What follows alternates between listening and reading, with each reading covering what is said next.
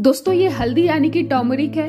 क्या आपको पता है कि हल्दी आपके पौधों के लिए बहुत अच्छा फफूंदनाशक और कीटनाशक का काम करते हैं? जी हाँ हल्दी में जो है एंटी फंगल और एंटी बैक्टीरियल प्रॉपर्टीज़ होती है, जिसकी वजह से ये आपके पौधों के लिए बहुत ही अच्छा फंगीसाइड और इंसेक्टिसाइड का काम करते हैं।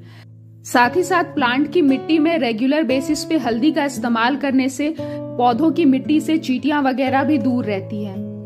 और हल्दी का मिट्टी में इस्तेमाल करने से मिट्टी की माइक्रोबियल एक्टिविटीज़ यानी लाभदायक जीवाणुओं की संख्या बहुत ज़्यादा बढ़ती है। तो हल्दी को आपको हर 10 से 15 दिन में लगभग आधा से एक चम्मच अपने प्लांट की जड़ों में या मिट्टी में मिलाना चाहिए।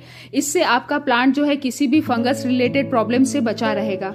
और भी ऐसी बहुत सारी घरेलू चीज़ें हैं जो बहुत अच्छा फफूनाशक और कीटनाशक का काम करते हैं। उसके बारे में डिटेल जानकारी मैंने अपने चैनल पे अपलोड की आप चाहें तो वीडियो जाकर चेकआउट कर सकते हैं।